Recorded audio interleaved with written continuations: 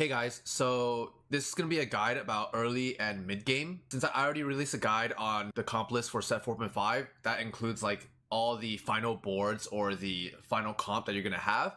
And this guide, I'm going to be talking about some of the early and mid game boards that you might you might see depending on what chosen you get. So I'm going to be talking about the one cost and two cost chosens that you can get, and then the various boards that go along with those chosens. Obviously, you know you're not going to be hitting the same same cho- same chosens, or you're not going to be hitting the same units every game. You have to be a little more flexible sometimes, and also depending on your items, you might be playing different units. You might sell your chosen earlier. You might sell your chosen level six or level seven and, and pivot into another board. But this is just a general, general guide, very general guideline. Like depending on what chosen you get, what units you usually look out for, and what kind of boards your boards will look like early mid game and until your late game pivot into your late game comp. Some of these boards for these chosens will look very, very similar. For example, like Nidalee, Nidalee chosen or Garen chosen. Doesn't matter whether you get which one you get your boards will be look the same. So I'm not gonna cover like I'm not gonna go over Garen and Elite Chosen separately. I'll probably do it at the same time, something like that. So first we're gonna be going over Dragon Soul. I'm only gonna be talking about the early game chosens that you can get. So basically only the one cost and two cost chosens. So the Dragon Soul chosen you can get are Brand, Tristana, or Braum. First, I'm going to talk about Dragon Soul Brand. Normally, for Dragon Soul Brand, I never pick this up. This is a very, very weak chosen, and it doesn't synergize well with Dragon Soul trait. But usually, if, if you do pick this Dragon Soul brand up, you're going to be probably playing Braum as your frontline unit, round out the Drag 3 Dragon Soul buff. And if you're playing Braum, you're probably playing a Vanguard, so it can be Garen, it could be Nautilus, it could be Wukong, whatever. And then since you're playing Brand, you probably want to round out with three mages. So the, the mages are going to be TF and Lulu. And then um, once you get Veigar, you can take in Veigar for Twisted Fate. Something like this. This can be like your example level 5 board and then at level six, you can uh, put in an Elderwood. So you can either put in Rakan for um, three Elderwood, and then at level seven, you can put in a Keeper. You can put in a Jarvan or a Kennen, like Kennen here or Jarvan here, something like this. Uh, there's also another variation that's probably better.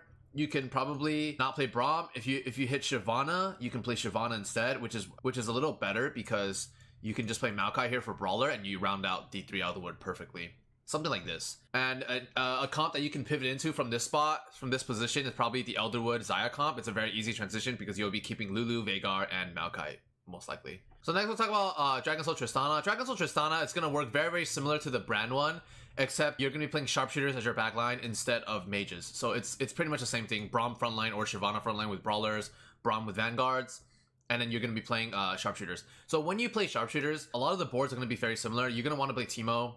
Teemo's one of the best early mid game sharpshooters, and if you play Teemo, you're gonna want to pair it with a Spirit, so you can either pair it with Kindred, or you can pair it with Yuumi, something like this. Or you can, uh, if you if you end up not hitting Teemo, you probably be playing Nidalee a little earlier. If you're playing Nidalee, you kind of want to play Garen. If you play and if you're playing Garen, you kind of you can round it out with a Warlord such as Vi or Jarvan's probably better.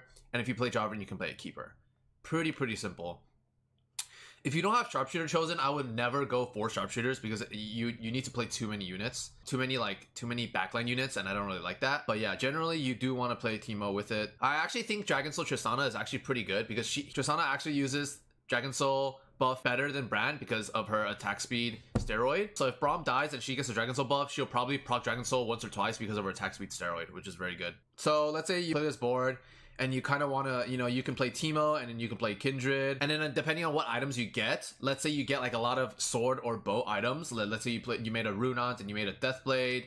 So this is obviously a transition. You're going to be pivoting into some sort of Slayer comp and just transferring the items from Tristana to Olaf or uh, Tryndamere. Uh, but let's say you, you get like more more bows than swords like let's say you get like RFC and then you get Guinsoo's, whatever, then obviously you can pivot into a Kayle board, right? Is these are really good Kayle items. The last Dragon Soul chosen is Dragon Soul Braum. It's gonna be very, very simple. You can either go the Mage variant or the Sharpshooter variant with Tristana or Brand. It's the, it's gonna be the same thing. So next I'll be talking about Mage Chosen. Mage Chosen, when you're playing Mage Chosen, you can get either Brand Mage, TF Mage, or Lulu Mage. And you're going to be running all similar boards with a Mage Chosen. Every time you get a Mage Chosen, you want to be going for five mages uh, mid-game because it's very easy to fit in. But obviously, early game, you want to play TF, round out the three mages, and you can play whatever frontline you want. Like, you can play either Vanguards with Garen, Nautilus, or you can play Brawlers with Maokai and Vi something like this. But what I like to do is I tend to lean more towards brawlers because you can you can play Maokai and you know the mages, you're gonna probably be playing Lulu and Veigar, something like this to round out the five mage, two brawler, two, uh, three Elderwood, which is extremely strong early mid game. You can get, you might be able to get Annie. Oh, I forgot about Annie. You you can also get uh, Mage Annie chosen. Wow, there's a lot of mages. You can once you get Annie, Annie will be a better frontliner for TF and something like this. And then this from this spot, it's like an easy transition into Elderwood Xayah. Or if you have a mage chosen, you could probably play mage reroll and reroll for Annie 3, Veigar 3, Lulu 3, and play 7 mages, something like this.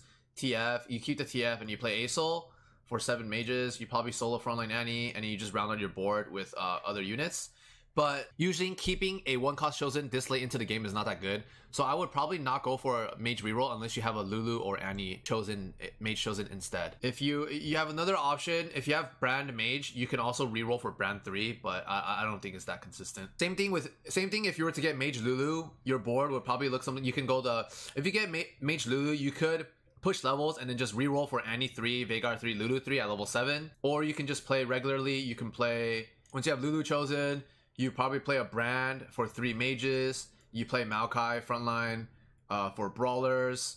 And then if you end up in, the mid game, you end up hitting Veigar. You can add another mage for 5 mage, 2 brawler, 3 Elderwood. It's going to be the same board as, as Brand. Same thing with Annie Mage. The thing about Annie Mage is that Annie is already a frontline unit so you can drop actually drop the brawlers and, and play maybe like Rakan, Jarvan for keeper. Something like this is a very, very strong uh, mid game comp, and you can just transition into Elderwood uh, Xayah from here. Same thing with TF Mage Chosen, same board. So uh, the only thing with TF Mage Chosen is that you could maybe, let's say you get Brand. Since TF is a cultist, you can maybe play Elise, and you can play like a Pyke for three cultist, three mage, which is pretty good. You can play, let's say you get Annie, you put Annie in, and then Lulu, you can play five mage, three cultist in a, in a mid game, or you might be able to you you might drop like Brand and Annie. You just stick to three mages, and then instead you can play Kalista, Sivir, and Vladimir, and then you can play like six cultists, three mage, something like this. So we covered uh, Dragon Soul and Mage so far. Let's move on to Diana. Diana chosen. If you get Assassin or Spirit, just play the reroll Diana. It's very very strong right now. It's covered in my comps list, so if you don't know what I'm talking about, please check that out first. But yeah, if you get a Diana chosen, I would just almost always try to play reroll Diana.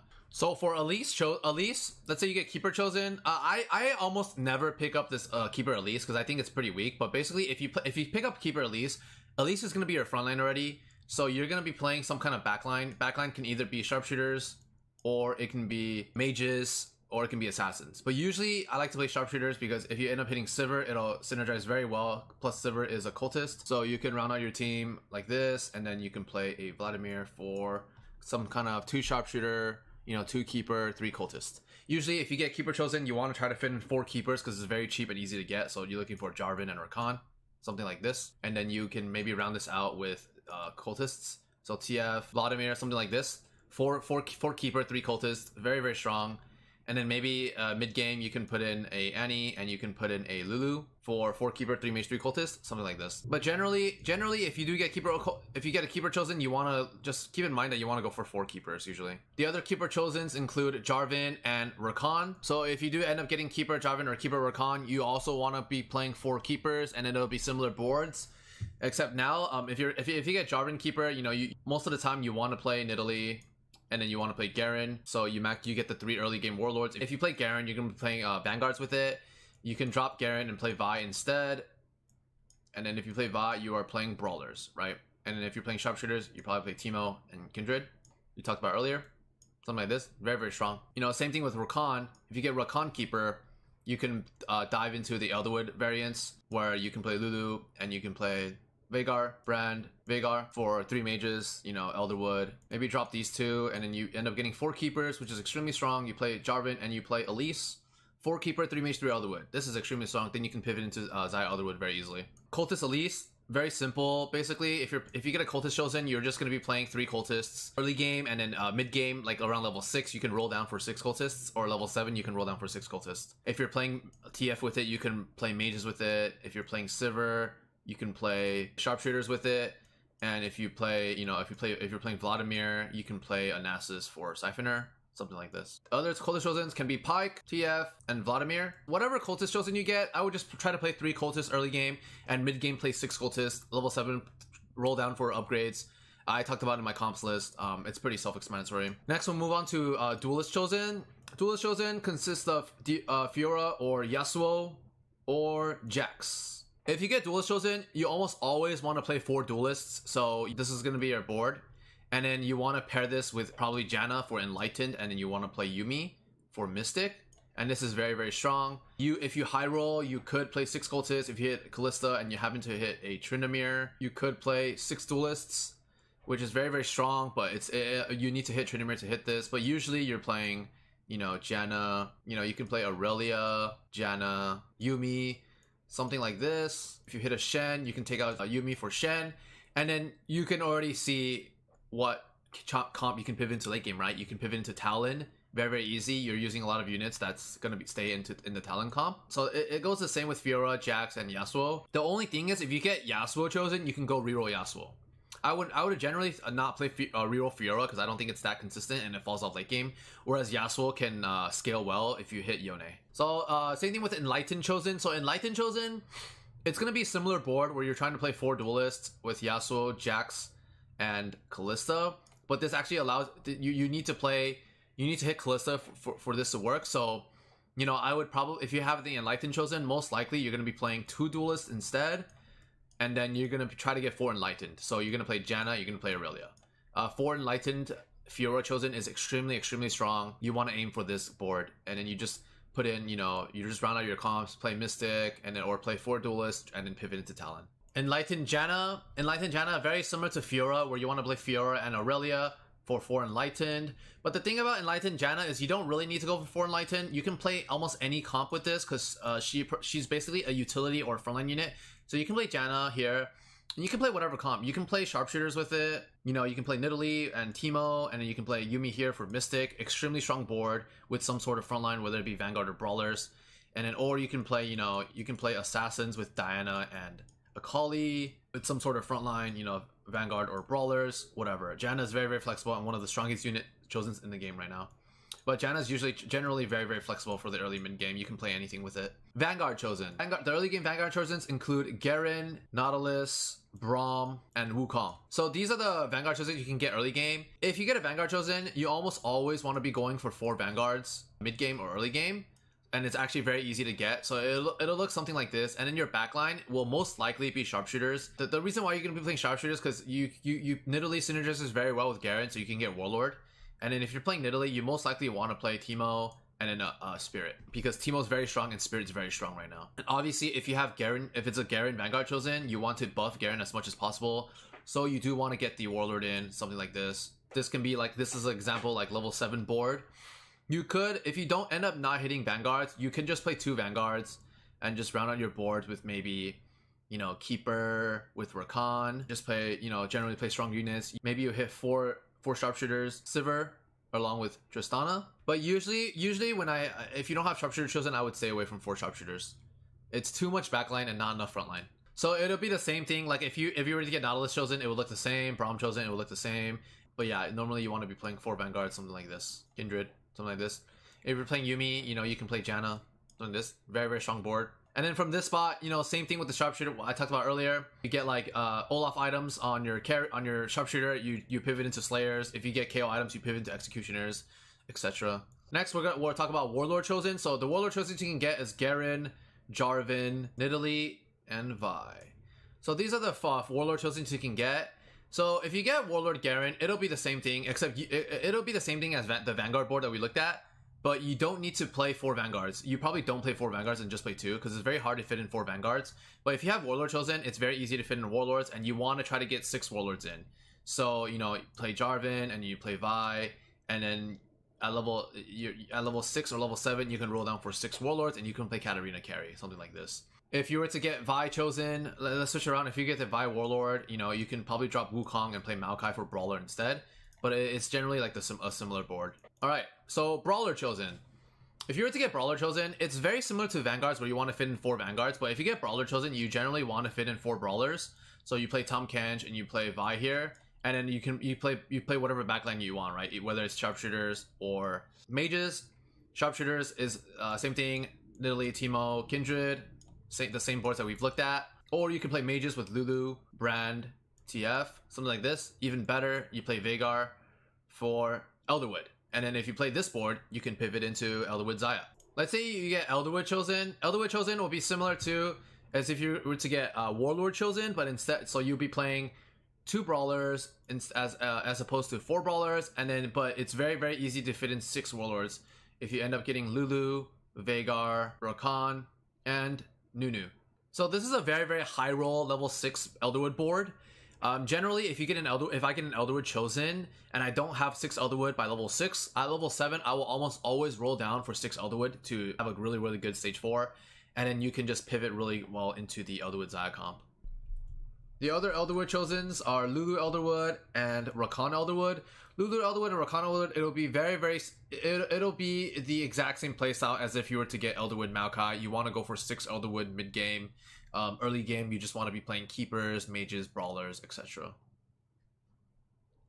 Next, we will talk about Divine Chosen. Divine Chosen early game will be Nasus, Jax. If you get Divine Chosen, you know you you want to try to fit in four Divine. So Jax plus Irelia, four Divine, and then you just round out your comp with whatever. You know, you can play Vladimir for Syphoner with Nasus.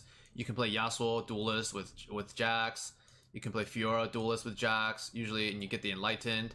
And then, um, you know, if you're playing Divine, it, it's it's like Divine Enlightened, Janna, Yuumi, and it's easy transition into Talon. Nothing, nothing, nothing else much to say say there. Um, next, we'll talk about Syphoner chosen. If you end up getting Nasus Syphoner, I would, um, you could go for Nasus three reroll because um, it's very very strong if you had the items for it, I would go for it. Um, if you don't know what I'm talking about, I recommend checking out my comps video guide. I talk about the Syphoner and Nasus reroll comp. If you if you end up getting Syphoner and Nasus, you actually don't need to play Vladimir. You know, you get three Syphoners, but Vladimir is just a very strong unit with Syphoner, so I would almost always play it still. The, the, the units you're going to be playing with it are very, very similar. Nasus is a frontline unit, so you can pair this with, you know, you can pair this with sharpshooters, you can pair this with assassins. Syphoner chosen, same thing with Vladimir. If you do end up getting the Syphoner Vladimir, it, will be a little different than Nasus, where whereas you'll probably be playing some some sort of cultist with TF, Elise, something like this, or you can play you know Kalista, Sivir, some sort of cultist board instead of a divine board. So next, we'll be talking about sharpshooter chosen. It can be sharpshooter Nidalee, sharpshooter Tristana, or sharpshooter Teemo. It's gonna be very. It's gonna be like uh, the, uh, very similar boards for all three of these chosens. You're gonna try to fit in four sharpshooters like this, and then your front line will either be vanguards or brawlers pretty pretty simple. You can maybe also play keep if you don't have good uh, Vanguard brawlers. You can play keepers with Rakan Jarvan, and you just round round out with warlords, spirits. I would tend to stay away from Dragon Soul if you don't have Dragon Soul chosen. Next is the Fortune chosen. If you end up getting a Fortune Tahm Kench, um, I talked about this in my uh, comps guide, but almost always I would try to stack all of stage two. You play a Annie here, and then you have three fortune. You stack all of stage two, and then you stack all, stage three until uh, after carousel at stage three five. You roll down to cash out, and when you roll down to cash out, you usually want to play Katarina carry. So you want to play Tahm Kench with Katarina. You want to be holding a brawler to buff Tahm Kench, and you want to play Pyke or any assassin to buff Katarina. And you know maybe you want to play Vi is better here, and you can play Jarvan for Warlord to buff Katarina, and then you just you know you can play you can at level seven, which will you will be at. You'll probably play keeper here, and then maybe you roll down, you hit an Aatrox. You can play Aatrox here, and I'm, I guarantee you this board will probably cash out at stage three. You want to be going for Katarina items and tank items on Tahm Kench. If you were to get Annie Fortune, it's gonna be very similar. Almost always, I would probably sack stage two, play Katarina. Same strategy. But the other thing is, getting Fortune Annie is it's a free two star two cost unit in the early game it's very very strong so you could go for win streak fortune. What what i mean by that is you can you you want to get mages in so you can buff annie it's actually ex- extremely extremely strong. So you play tf lulu annie and you you want to get a fortune in. Most likely it's going to be Tahm Kench something like this. But you just stack annie with tank items and it's going to be very very strong. You, you just play mages with with annie. Mystic mystic janna same thing as enlightened janna where you can just play any you can play any comp any board with this it's very very flexible all you need is some sort of frontline and backline. Frontline will be either vanguards or brawlers, and then backline will either be assassins, mages, or sharpshooters. So let's talk about assassin chosen. If you're the assassin chosen you can get are Pyke Diana. If you end up getting Pyke I already talked about Diana. If you get Diana, you want to play the reroll version. But if you end up if you get end up getting Pyke you usually want to try to fit in four assassins because it's very strong. Just play Diana, and you can play Akali for four assassins with some sort of frontline, and this is extremely strong early mid game. If you have Pyke, you can try to try to fit in cultists with TF. With Pyke though, you don't have to play four assassins. You can just play two assassins and just play uh, whatever strong units you hit. But usually you can play, you know, cultists. You get a free cultist. You can play Nidalee and Sivir if you hit. Then you play Elise, and then you play, you know, this gives you three cultists, two sharpshooters, and you play Jarvan for the, and then you play another Vanguard, something like this. This is a very very strong like level seven board where you get sharpshooters, warlords, cultist, and keeper very very strong. Uh, if uh, next we're gonna be talking about uh, Slayer, Slayer chosen. So Slayer chosen, you can either get Zed or Pyke If you do get Slayer chosen, you almost almost always want to be playing three Slayers. So if you get Zed chosen, you want to play Pyke. Pyke chosen, you want to play Zed. And then this this will be your backline damage. So all you need to round out with this is probably an assassin, so maybe a Diana to buff Pyke. And you want to play some sort of frontline. And this will be a very strong early mid game. Um, if you if you if you get a Slayer chosen, you could play Spirit Zed with three Slayer. So you want to be playing. You can you can just not even play frontline. You can you can just stack Spirit, and this will be a four Spirit three Slayer at level six, which is extremely strong you just stack uh, bow items on Zed, uh, pretty simple, and you just play uh, Spirit Zed. Alright, next we're to be talking about uh, Fabled Chosen. So the only Fabled Chosen you can get in the early game is probably Fabled Nautilus. So uh, I actually don't have much experience playing this because this is actually very rare. But when you do get Fabled Nautilus, you usually want to look for Neeko to round out the Fabled, but you probably won't get Neeko until level 6 or level 7. But usually you want to play, you know, you want to play vanguards with Nautilus, and you want to play some sort of backline damage, whether it's sharpshooters or assassins or mages. Uh, but generally, I would say probably at 3-2 level 6 or at uh, four, uh, stage 4-1 level 7, you do want to roll down for the Neeko to round out your Fabled, and then you just play, you know, Yuumi and Janna for 4 Vanguard, 4 Mystic, something like that, and you stack Neeko with AP items. And I think that just about sums up all of the chosens that you can get early game and what kind of boards you can play with it. So as you can see from the guide, generally, if you're playing some sort of Vanguard Warlord Sharpshooter board, you you you will try to pivot into Slayers and Executioners. So you want to try to be getting Olaf items, KO items from your mid game carousels. If you're playing some sort of Brawler Elderwood, you want to be going for Xayah and Aso items and pivoting into Xayah Elderwood usually. If you're playing some sort of Enlightened uh, Divine board, you want to try going for uh, Morgana and Talon items and pivoting into Talon. Hopefully this will help you guys out to have a general like idea of what your early and mid game boards are going to look like depending on what chosen you get. Let me know in the comments below uh, if any if I missed anything, any any other boards that you know you generally play that have been really really strong, and uh, I'll see you guys next time.